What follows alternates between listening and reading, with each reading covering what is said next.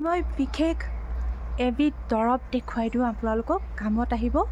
সঁচাকৈ প্ৰমাণিক মই ঘৰত খুৱাইছোঁ তেনেকুৱা। এইটো হ'ল ভীমকলৰ কলপুলি চাওক জাষ্ট পচলা খাবলৈ যিটো আমি ইউজ কৰোঁ নহয় সিমানটো হা? ইয়াতকৈ সৰু হ'লেও হ'ব। এতিয়া ইমানটো চাইজৰে মই কাটি দেখাম হা? এইটো মই কাটি আনিলোঁ চাওক। জাষ্ট ইমানটো এটা পুলি।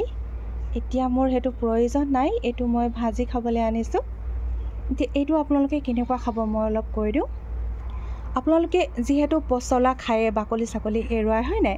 ইয়াত বহুতখিনি বাকলি খালি পেলাই নিদিব অলপ চফা কৰিব হাঁ।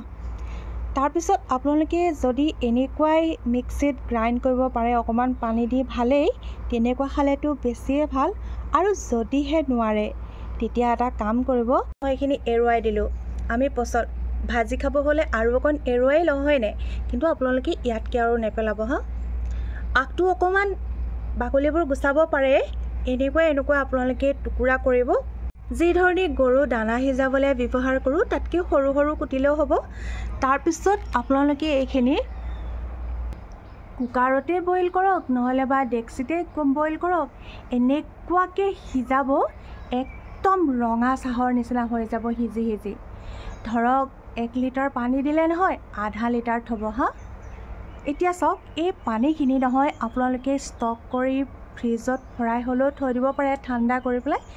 ৰাতিপুৱা শুই উঠি এক গিলাচ এনেকুৱা ধৰণৰ বেছিকৈ বনাই থ'লেও হৈ যায়। মই মোৰ হাজবেণ্ডক তেনেকুৱা পোন্ধৰ দিন খুৱাইছিলোঁ কি বেমাৰৰ কাৰণে জানেনে?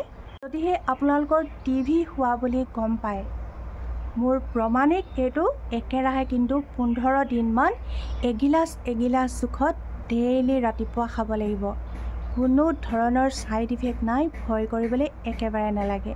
ওপৰত ইয়াৰ পানীখিনিয়ে নহয় আপোনাৰ কিডনী লিভাৰ ডিটক্স যিটো চাফা কৰাত সহায় কৰে।